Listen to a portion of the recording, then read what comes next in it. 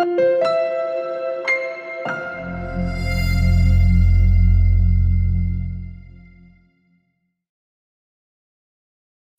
الرحمن الرحيم. السلام عليكم ورحمة الله حياكم الله إخوان معكم أخوكم مندر. إحنا الآن موجودين في مقابلة سريعة مع آه، شركة اي ام دي راح آه، اليوم نتكلم معهم على الأشياء المهمة خاصة في مجال المعالجات ومجال الاي بي يوز ومجال آه، البطاقات الرسوميات. So uh, can you tell me who you are? Yes, absolutely. So, first of all, thank you, thank you for your time today. Um, so, my name is Omar Fakri. Mm, Uh, I run sales uh, for AMD for Middle East and Africa, based out of Dubai. mm, Um, I've been with AMD for almost three years now, Great. and I've been in the region for just over eight years, uh, mainly within distribution or now on the vendor side with AMD. So uh, we're gonna jump directly to the most important question. Uh, where is AMD right now? Is it uh, in the top or in the middle or is it far behind? Yeah, good question. Um, I think, regards to AMD, if we talk about our computing and graphics business, which is what um, covers client business, component graphics, component uh, CPU, MPU, Mhm. uh, and our pro graphics. So, within our, our computing and graphics business, um, this is still very much a key focus for AMD as a company. Mhm. Uh, we're working very hard now to stabilize this business internally. Mhm. Um, it's been, I'd say, in a general market speaking, it's been challenging. Um, but you know, for AMD, we've had a very busy second half of, of this year so far with the launch of the 300 series, Oh, um, the Fury X, the Nano, uh, the Fury, um, the 7670 uh, APU. So for us, we are making some strong progress, uh, and we're really focused on developing key technologies such as 4K, um, VR via our Liquid VR, Mhm. um, and through you know world first such as high bandwidth memory Yeah. to really make us be you know leading position within the market. So okay, g- oh, great. Let's uh, firstly firstly talk about the APUs. Sure. So uh, what is the newest release from uh, the, the, the APUs that that we have uh, we have uh, currently in the market? Okay, sure. So if you take if you take the consumer notebook APUs, Mhm. um, which is Carrizo and Carrizo L. Exactly. Um, so you know Carrizo was uh, a huge advancement for AMD in terms of technology, uh, 2.4 times performance uh, per watt. From the product. Um, it was the world's first HSA ena- enabled APU. Oh, great. Um, so this was this was a big launch for us. Um, if you take the desktop APUs as well, Yeah.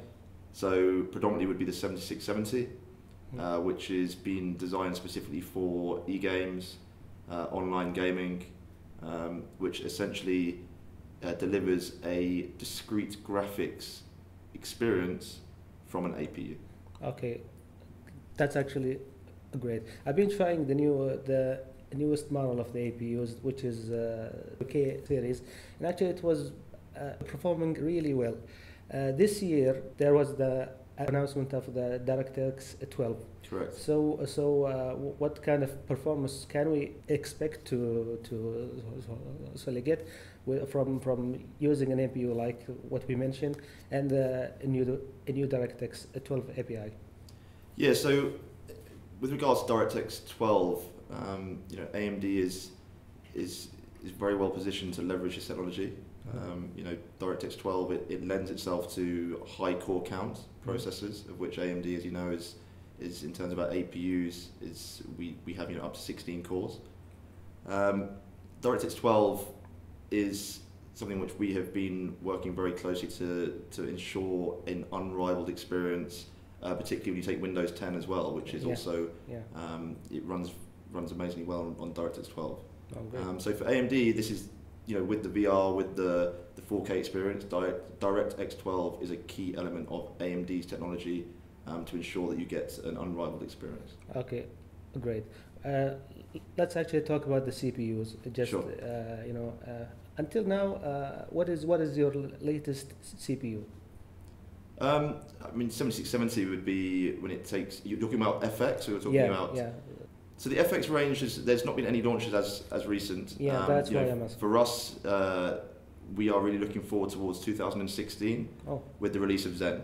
Zen. So Zen will be the FX series cores, uh, and this, which should be towards the back end of 2016, this is when you'll see the new releases and you'll see significant improvements um, based on efficiency uh, and yeah, power power by per watt efficiencies that you that you're seeing compared to the current generation now.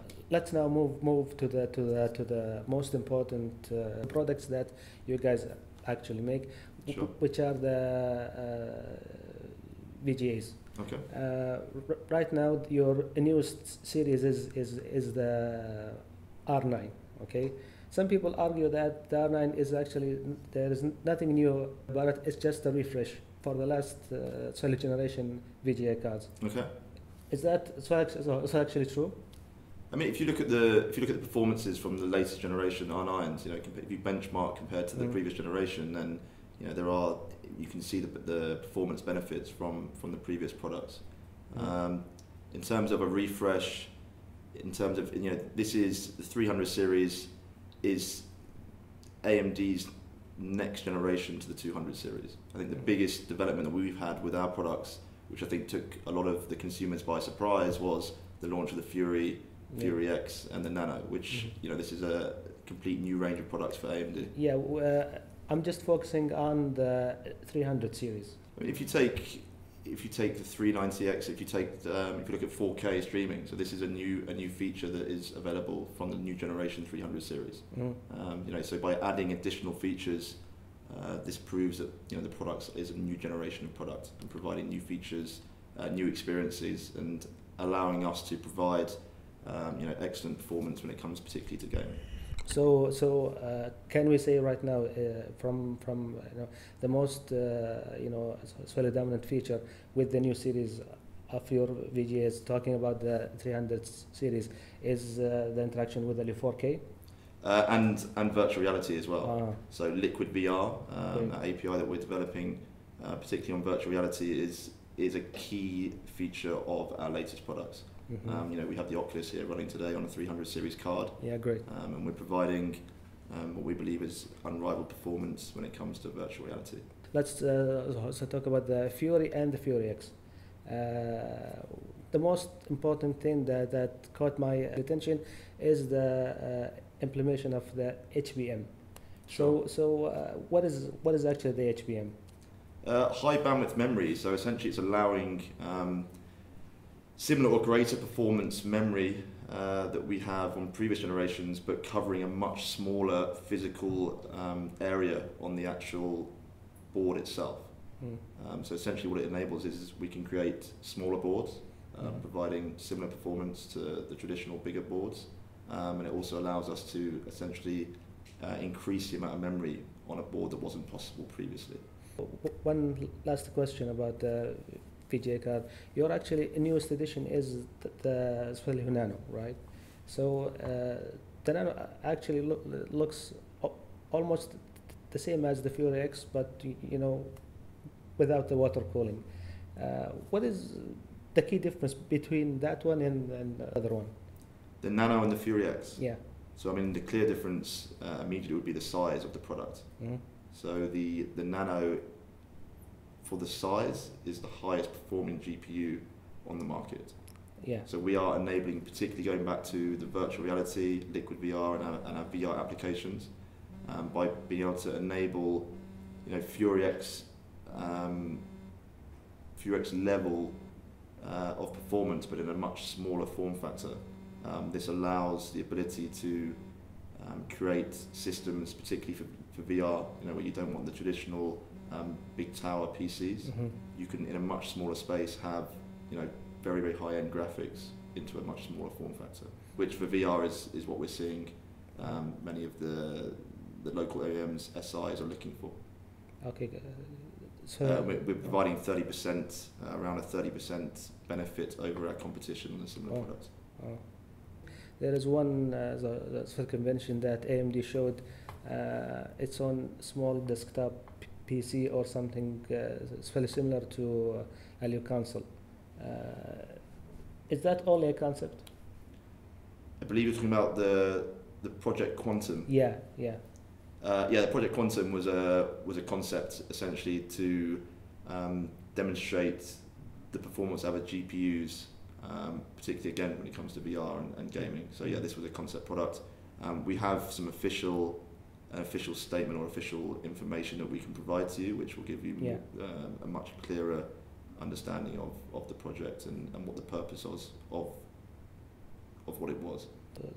So okay. My final uh, solely question. Uh, I actually wanted to get my hands on the, the R9 Nano and uh, Fury X, but you know, uh, currently they're very hard to find. Why is Okay. that? Uh, yeah, so on some of the Fury products, there has been um, some allocation issues, hmm uh, which is actually mainly down to the fact that due to the, the HBM memory, um, you know, this is a very new technology. So in terms of actually the, the material involved and the production process of that, um, it has put some constraints on allocation. Uh, during Q4, this is going to alleviate um, considerably. Mm. So the allocation will be will be far higher.